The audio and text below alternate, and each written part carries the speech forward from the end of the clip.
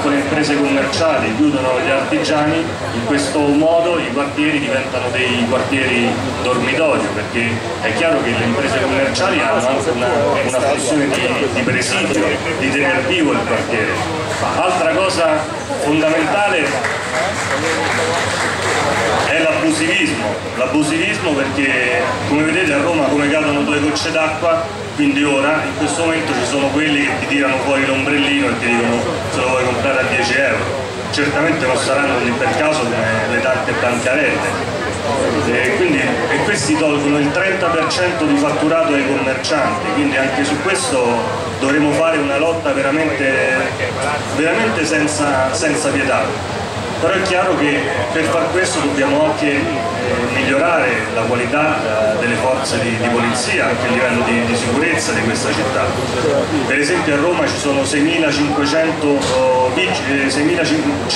eh, poliziotti della polizia municipale, sono nettamente sottodimensionati, sono sottodimensionati ad esempio in rapporto a una città come Milano è imbarazzante dovrebbero essere, anche, dovrebbero essere circa 8.500, c'è anche il concorso ed, è già, eh, ed, è già, finanziato, ma soprattutto sono nettamente eh, privi di, di, strumentazione nonostante svolgano attività di polizia fondamentali. L'85% dei rilievi è fatto proprio dalla, dalla polizia municipale. ne ho parlato anche con loro e sono totalmente demotivati, quindi dobbiamo anche eh, lavorare insomma, su questo, lavorare nel complesso sulla, sulla, sulla sicurezza di questa città. Abbiamo pensato di fare un centro unico operativo tra tutte le forze dell'ordine. Anche le piccole imprese stanno soffrendo, perché? Perché a Roma lavorano sempre le solite 3-4 grandi imprese, i grandi costruttori, eh, le grandi imprese che operano nel settore degli appalti pubblici. Perché? Perché si fanno sempre, come al solito, come diceva anche Angelo prima, eh, le solite grandi opere, si pensa a fare le opere faraoniche, la metro C, che ci sta costando un sacco di, di milioni di, di, eh, di, euro al chilometro, dovrebbe costare 170 milioni al chilometro ogni, come ogni metropolitana europea, ormai abbiamo perso il conto, non sanno neppure quanto, quanto costerà per finirla. Quindi, e qua mi ricollega a quello che diceva Cristiano, dobbiamo eh, ripristinare il concetto di democrazia partecipativa, i cittadini, noi, voi, dobbiamo essere coinvolti per stabilire quelle che sono le opere importanti di questa città. Sempre in tema di mobilità, se ne vorrebbero fare tantissime, si, si vorrebbero fare metropolitane leggere, metropolitane di superficie, si possono fare in project financing, quello vero, non quello in cui si dà il corrispettivo con cubatura, come è stato fatto per la metro B1 esistono già dei progetti, c'è quella, la metropolitana di superficie sulla Palmiro Togliatti, si può fare il project financing, 80-100 milioni, si fa in due anni, idem quella eh, Cinecittà eh, Tor Vergata. E comunque fare le piccole opere, le opere di manutenzione, l'importo che il Comune di Roma spende per, la, per, le, per le strade è ridicolo, mi pare che a bilancio ci siano 12 milioni di euro quindi fare i piccoli lavori, tanti piccoli interventi di manutenzione di decoro urbano, che sono quelli che piuttosto che far lavorare la grande impresa fanno lavorare la piccola impresa. Ne abbiamo parlato anche con loro, anche con gli imprenditori, ne erano d'accordo a Roma il 97% delle imprese ha da 0 a 10 dipendenti, sono quelle che stanno morendo perché, perché non ricevono il pagamento dei corrispettivi, perché non ricevono microcredito, quindi anche su questo dobbiamo lavorare. Altro tema importante, l'ha toccato Enrico, la mobilità. La mobilità penso che i nostri parlamentari che si sono trasferiti a Roma hanno capito che cos'è è il frutto di 40 anni di, di politiche sbagliate, perché abbiamo sempre... Eh, devo finire? Va bene. Eh, ci rivedremo al Consiglio Comunale, è stato un piacere. E parleremo in Consiglio. Va bene, scusate. Grazie, scusa.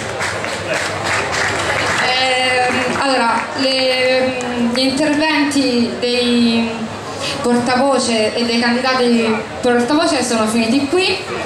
Adesso comincia la parte di intrattenimento.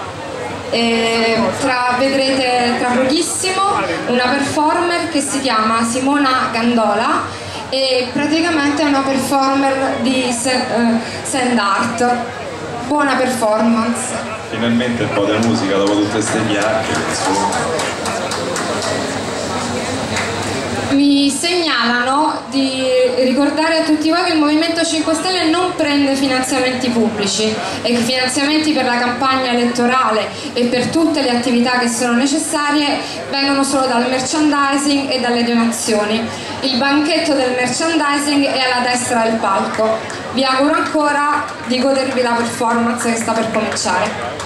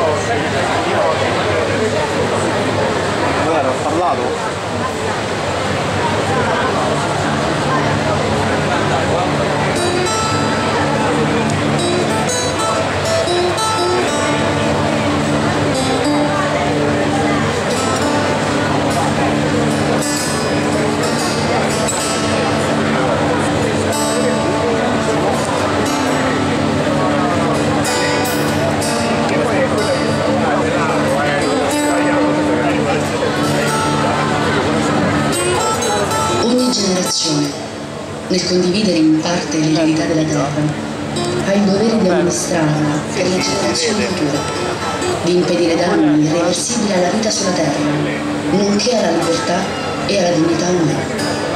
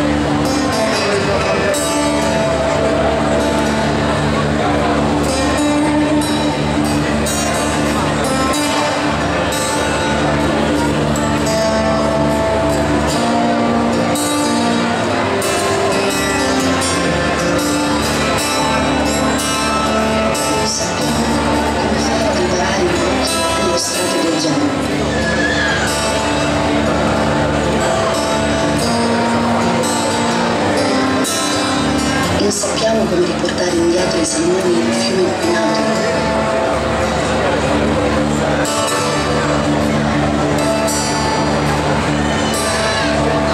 Non possiamo far tornare le foreste che un tempo crescevano dove ora c'è un deserto.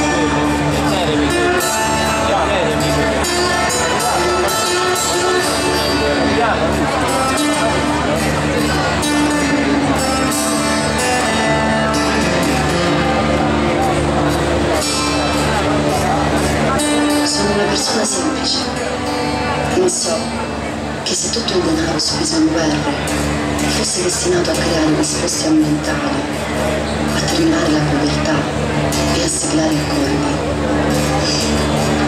Che mondo meraviglioso sarebbe questa terra.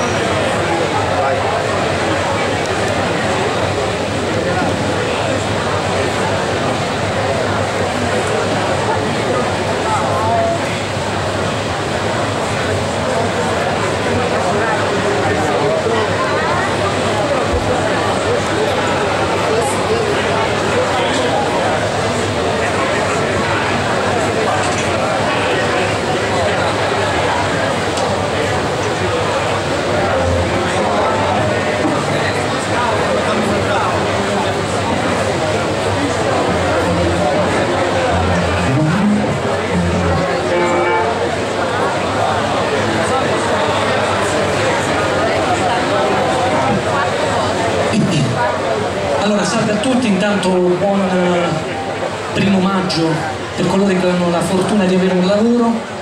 Un, un augurio a tutti coloro che cercheranno un lavoro e che stanno cercando un lavoro, perché questa è ancora la festa dei lavoratori.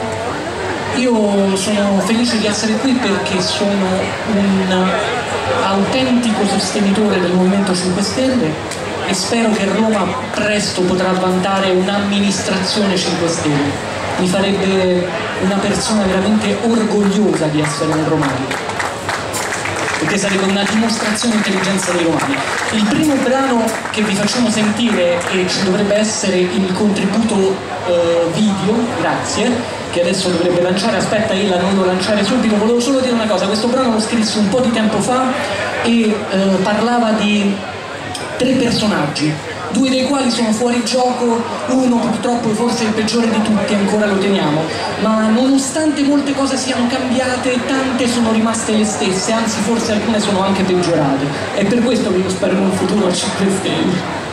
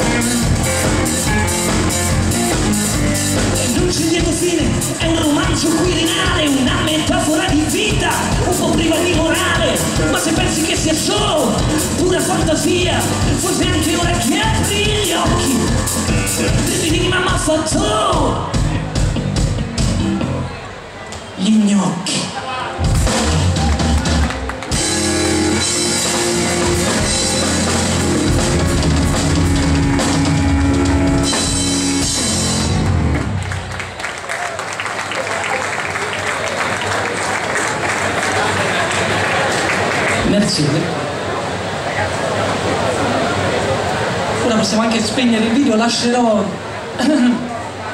il posto vocale a una più autorevole voce, Miss Hilary Davis, signore e signori.